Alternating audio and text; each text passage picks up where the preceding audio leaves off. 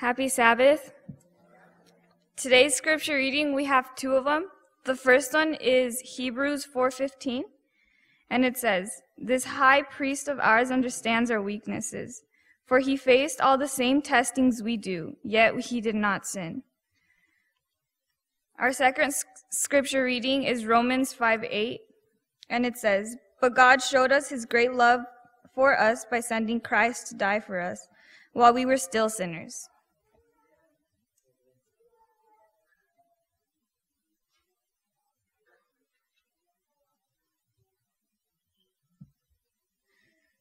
Good morning. There's some tired folks out there. I know.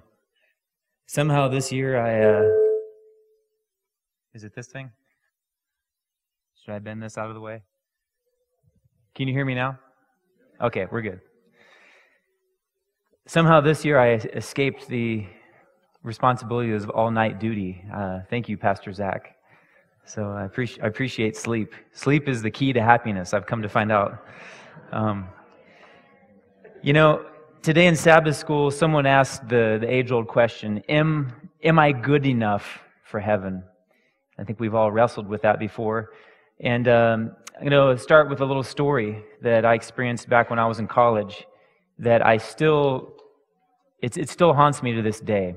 I, I wonder after this experience Am I good enough? When I was uh, probably in the 20, 21 years old, my wife, I may have shared this story before, but it's, it's worth repeating because it, it was a, a low point in my life. My wife had signed up to run the Indy Mini Marathon in Indianapolis, Indiana.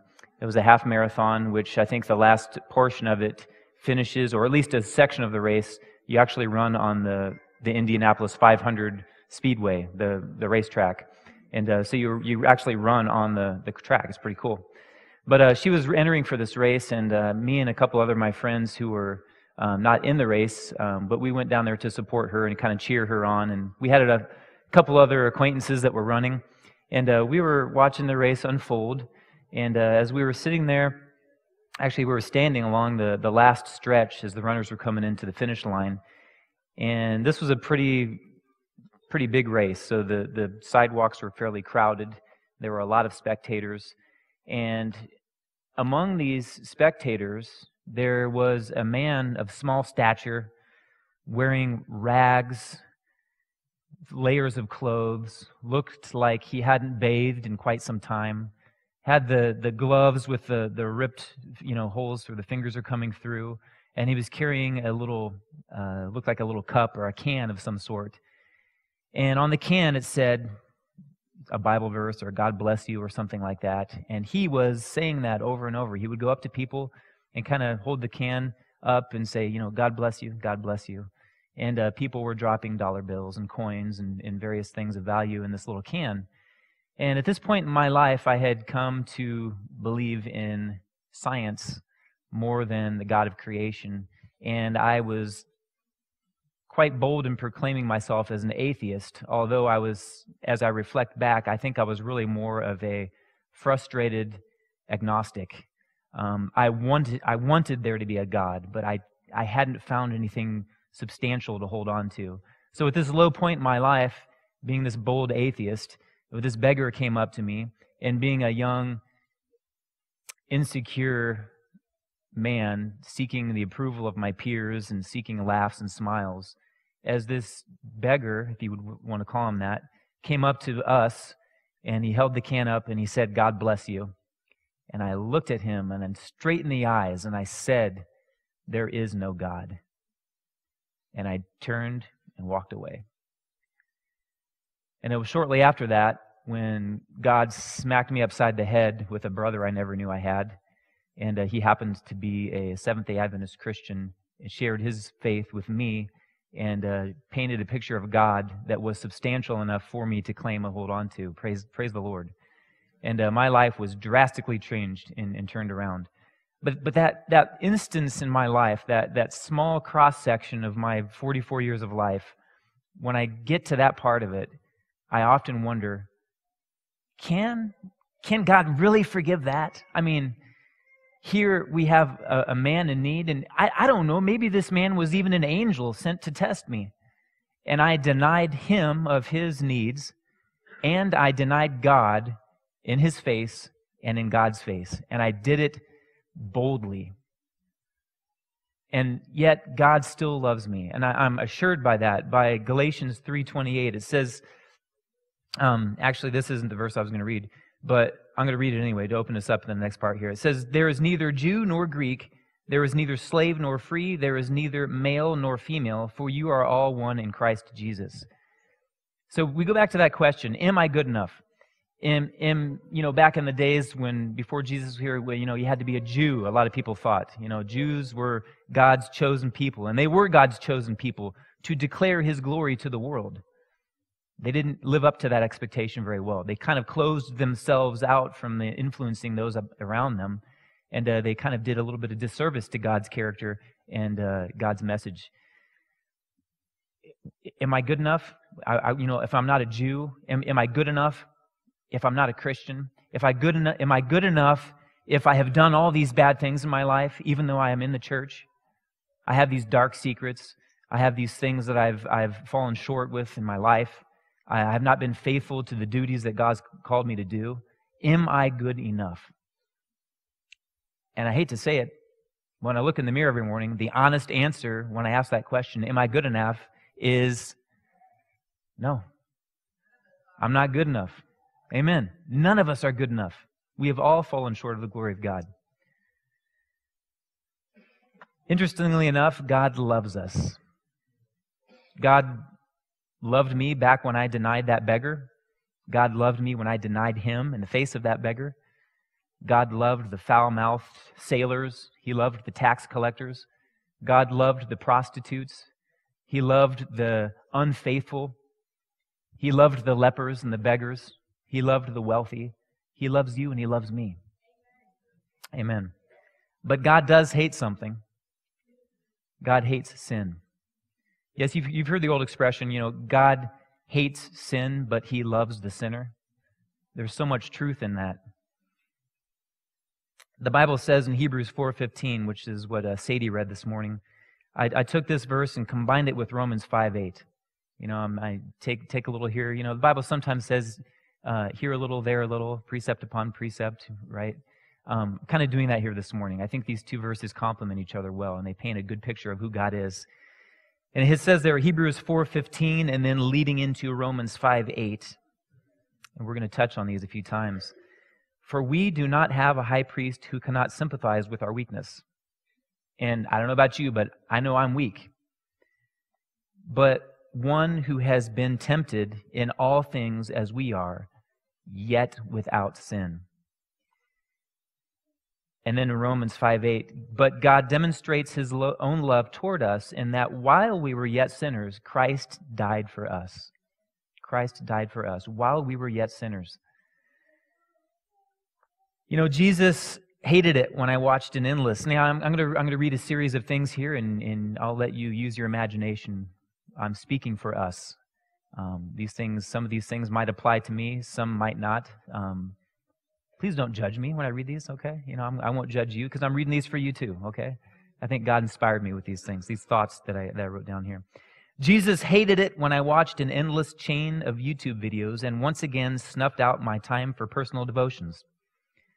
However, he has been tempted in every way just as we have, yet he did not sin and that while we were yet sinners, Christ died for us.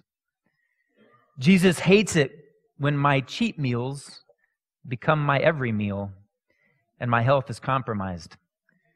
However, he has been tempted in every way just as we have, yet he did not sin. And that while we were yet sinners, Christ died for us. Jesus hated it when I put 10,000 men on the front line, knowing that they would surely die to protect the price of oil and my posh lifestyle while I masked the cause with some moral banner. However, he has been tempted in every way, just as we have, yet he did not sin. And that while we were yet sinners, Christ died for us. Jesus hated it when my secret lust on the computer screen supported a multi billion dollar sex trafficking industry while I claimed to love my wife and children. However, he has been tempted in every way, just as we have, yet he did not sin. And that while we were yet sinners, Christ died for us. Jesus hated it when I secretly wished my coworker would get fired and I would advance into his position. However, he has been tempted, being Christ, in every way, just as we have, yet he did not sin. And that while we were yet sinners, Christ died for us. Jesus hates it when I abuse my body and mind with uncontrolled passion for food, drink, money, lust, and pride. However, he has been tempted in every way, just as we have, yet he did not sin. And that while we were yet sinners, Christ died for us. Jesus hates it when I covet the rich man's trophy wife so I can bathe in the riches of materialism. However, he has not been however he has been tempted in every way just as we have, yet he did not sin, and that while we were yet sinners, Christ died for us. Jesus hates it when I hate the rich man and lust after his wife and her airbrushed silicone appearance. However, he has been tempted in every way, just as we have, yet he did not sin. And that while we were yet sinners, Christ died for us. The Bible says Jesus loves the lustful. He loves the trophy wives, the men who lack self control and integrity. He loves the godly and the ungodly alike. We have a God who has been tempted in every way, just as we have, yet he did not sin and that while we were yet sinners, Christ died for us. Can I hear an amen? amen? The list could go on. The list could go on. And I'm sure some of these sting in the heart as you listen to these things. Some of these you might not relate to. But every one of us, probably in some aspect or another, falls under one of these umbrellas. Christ has been tempted, just like you, just like me, he was tempted by the devil in the wilderness with, with appetite and, and pride and, and power. I'm sure he was tempted all 33 and a half years he was here on earth. Yet he did not sin. Yet while we were sinners, he died for us. You know, one of the best ways to describe God's love for us is through marriage. And uh, that is a theme that you see in the Old Testament, you look at the, the Song of Solomon and that wonderful story, which may be a little, I, I maybe I think you have to be 18 to read that story if I remember right. Um, but it is a, is a passionate love story of God's yearning for the bride and the bride's yearning for Christ. And we see it in the New Testament. God's first miracle, he made wine for a wedding feast, a great celebration of the covenant between a man and a woman. An amazing example of love and completeness. Back in, in Genesis, when God created man and woman, he created them to complement each other and to become one. Just like God, the Father, Son, and the Holy Spirit are one in purpose, yet three separate entities. We have man and wife, they come together as two separate entities, one purpose. That's how marriage is supposed to be. And uh, I don't know about you, but I can remember back when I got married, the excitement and the anticipation leading up to that day. You know, it's it's exciting. So much time and energy and money and planning goes into a wedding, and uh, God's planning for us to receive His bride when He comes again in those clouds of glory to take us home with Him is nothing compared. There's there's nothing that compares to it. John 14, 2 and 3 says, In my Father's house are many dwelling places. If it were not so, I would have told you. For I go to prepare a place for you. If I go and prepare a place for you, I will come again and receive you to myself, that where I am, they there you may also be. God promised that he's going to go and prepare a place for us and that he would come back and take us to be there with him. He's calling you and he's calling me to accept that invitation it's free. You don't have to earn it. You know, they, they, they say that God is a risk taker. You know, gambling isn't good, but I hate to say it, God gambled when He created you and me because there was a, a risk there, right? It was a, you know, I don't know what, what the percentage of the chances are, how many people are going to be in heaven and how many aren't. That's not for me to decide. But when God created you and me, and He created us with the freedom of choice, He gave us a free will he knew that there was a risk and there was a chance that we would choose not to follow him and not to serve him. He knew that there was a risk that we would be lost for eternity. Yet he knows that for those who choose him, that reward is going to be so great and the bliss is going to be so undescribable that it was worth the risk. You know, I saw a sign on a church once up in northern Arizona and they had a little billboard out front, you know, worship service, the times and upcoming events and whatnot. And they had a quote that was on that sign, and it said, Be willing to step out on a limb because that's where the fruit is. I believe that God stepped out on a limb when He created us, but His love for what would be was so great, and it was so worth it that uh, He took that risk. And it wouldn't be a shame if we weren't there? God's preparing a place. He promises to come back and take us there. The bridegroom is coming. Therefore, let us, the bride, repent and prepare ourselves for him. Revelation 19:7 uh, and Revelation 21:2 a couple verses that describe um, preparing ourselves as a bride for the bridegroom's return, for the bridegroom's coming. Uh, I remember when my wife and I got married, the planning and the preparation that went into it. Um, it was overwhelming. Somehow that, that summer when we got married, I had landed a job um, working at a factory making auto car, like car parts and stuff like that. And my work shift was from midnight to 8:30 in the morning. And because of that, I got to sleep from about 9 in the morning until, you know, mid-afternoon. And uh, then I somehow kind of escaped a lot of the, the planning for the wedding. So that was kind of cool, actually. Um, my, my mother is, I, I love her to death, but when it comes to planning, the meticulous detail that she goes to, it, it just makes me want to just fall over. I mean, the napkins, they're, they're like lay out you know, 10 different colors of napkins that to me, they all looked the same and they're all going to just have spaghetti sauce and you know kool-aid on them and be thrown in the trash can. It doesn't really matter. To me it was more about the people and the food. And it, you know it was for her too but she was she was a woman of detail.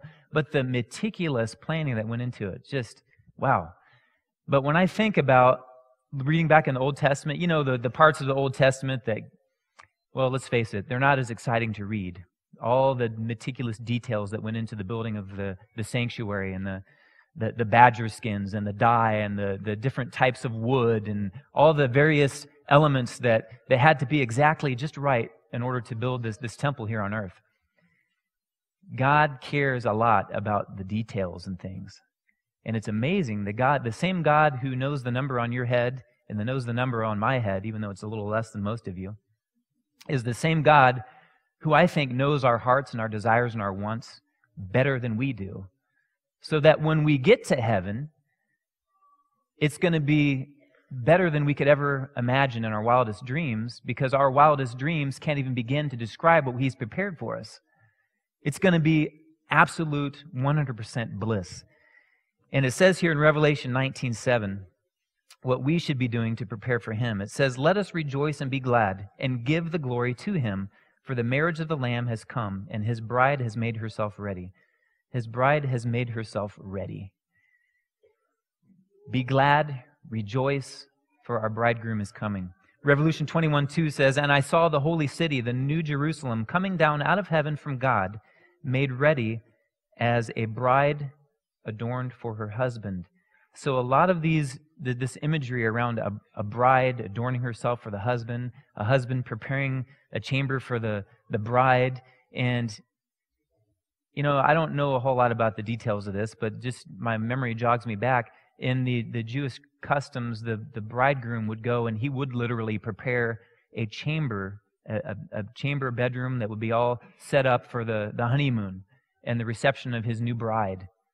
And a lot of detail and a lot of attention went into that. The bride would spend, like they do now, hours on the wedding day preparing themselves and cleansing themselves and putting makeup on and fixing their hair and making sure their dress and all the details and everything are just pre- precise for this amazing event. Wouldn't it be a shame? Wouldn't it be a shame? This God, who was tempted in every way, just like you and me, yet didn't sin, This God who, yet while we were still sinners, died for us. This God who lived 33 and a half years down here, he stepped down from the throne of heaven to walk this dusty, dirty earth. A common man, nothing attractive about him that would make him above anyone else. Washed the feet of the very one who betrayed him. Sweat drops of blood in the Garden of Gethsemane. Had a crown of thorns bashed into his, his, his head with the blood trickling down.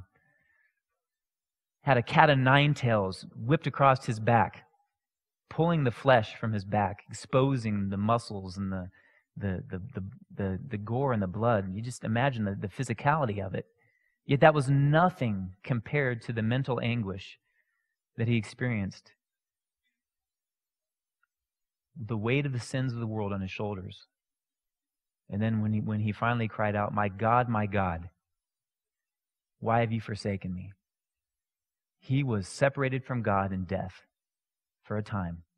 Yet that same God, that same Jesus Christ, rose again, walked here, ate, spoke, spent time with people, and rose up in the clouds to heaven to prepare a place for you and me with the promise that he will return.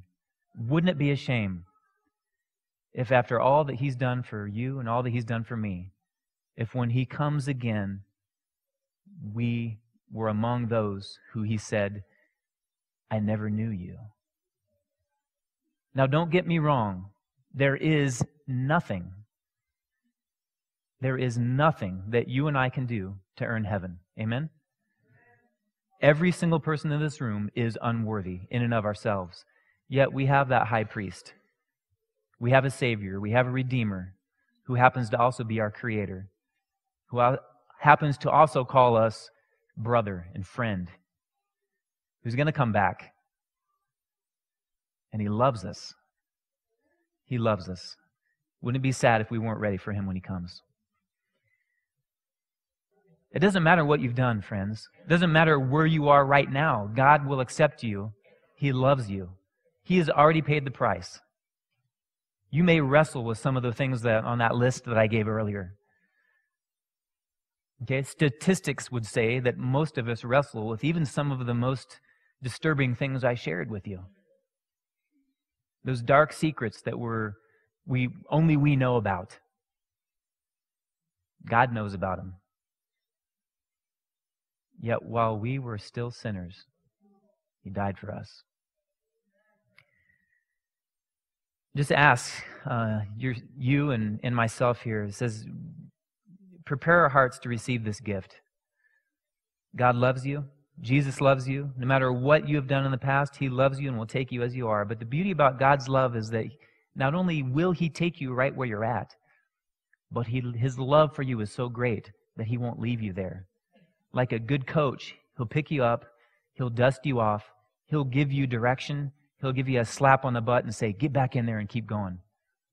Like Pastor Zach shared at the beginning of the sermon today. I think it was, I think it was you. Said, you just, just keep walking, right? One, one of the key components to the Christian life, whether you're on the, on the high mountaintop experience or in, you're in the low valley, keep walking. Put one foot in front of the other. And when you fall, I'm, I'm going to I'm going to share with this last little story because you will fall. We will fall. But if we're holding on to the hand of Christ, He will pull us out of the muck and mire. And say, my, my brother gave a sermon one time. I, I didn't even have this in my notes, but I'm going to share this with you because it's, it's worth a closing thought. The difference between, between a true Christian and someone else is similar to the difference between a cat and a pig. The difference between a cat and a pig. The cat would represent the true Christian, and the pig would represent someone who's not a true Christian. And we're going to have a big mud puddle in here. And this big mud puddle, the mucky, you know, deep, the kind of mud that you step into and it sucks your shoe off. You know what I'm talking about? They don't have that here in Arizona. In the Midwest, mud gets that way. Here in Arizona, just, maybe they do. I don't know. So if a cat walks into a, a mud puddle, what does a cat do? It tries to get out, right? A cat tries to get out of that mud. Picks its paw up and flicks the dirt off and picks the other one up and flicks it off and it, it, it high toes it out of there, right? And it gets to the side and it cleans itself off and it walks around, gets, gets out of there, right? That, that's what a true Christian should do. When we, when we find ourselves engulfed in a sinful experience in life, we should be like that cat and shake it off, get out, clean it, clean it up, and keep going. And like Pastor Zach said, keep walking. But then there's the pig the swine, the hog, right? Gets in that big old pile of mud, deep, all the way up to the belly, and it's sin. And the pig is just like, say, say it again. He's like, oh yeah. He's like, gets down in there, rolls on his back, shakes around, gets his head down in there, and just, just basks in the moment. Loves it. Okay? Instead of getting out and high stepping it out, he sinks deep and he cherishes every gritty, slimy moment and he doesn't want to leave. Be the cat. When you're in that muck and the mire, maybe it's too deep and you can't get out, you know, reach that little paw up, shake the mud off, and grab the hand of Christ Jesus, your Savior. And I guarantee he will pull you out. Don't let go. When Jesus comes again, there's going to be some who are holding on to sin and there's going to be some that are holding on to Jesus. You got to decide what it is that you want to hold on to. Let's pray. Father in heaven, we love you so much, but Lord, our love is so lacking. Your love for us is so much higher, so much greater, so much more complete. And we're thankful for that. Uh, we're thankful for the fact that you give us your word, and in your word it says that while we were still yet sinners, you died for us. And it was only your, through your death that we can inherit the kingdom of heaven. Lord, we're looking forward to that day when you come again. And in the meantime, help us to keep on walking. Help us to put one step in front of the other. And Lord, when the mud puddles come and the sin surrounds us, help us to high step it out of there. And we just pray that you'll clean us off again, dust us off, give us that slap on the behind, and tell us to keep going. And uh, we're thankful that not only will you do that, but you'll walk right along our side and be our strength. And uh, we're thankful for that, Lord. As we leave here today, I pray that we will be a light to this dark world, and that when you do come again, you'll look at each one of us and say, Well done, my good and faithful servant. We thank you in Jesus' name. Amen.